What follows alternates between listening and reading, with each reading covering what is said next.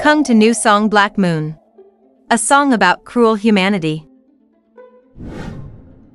After five years in the industry, Keung To faced various challenges and gained some insights into human nature.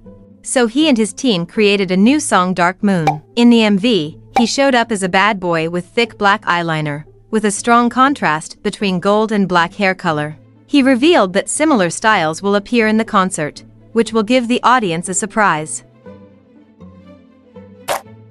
He said after entering the industry, I discovered from my observations that when many people have money and power, they may do some unknown dark behaviors behind their backs, harming others to satisfy their own desires. He hopes that through this song, I can alert myself and the public and not let desires run rampant.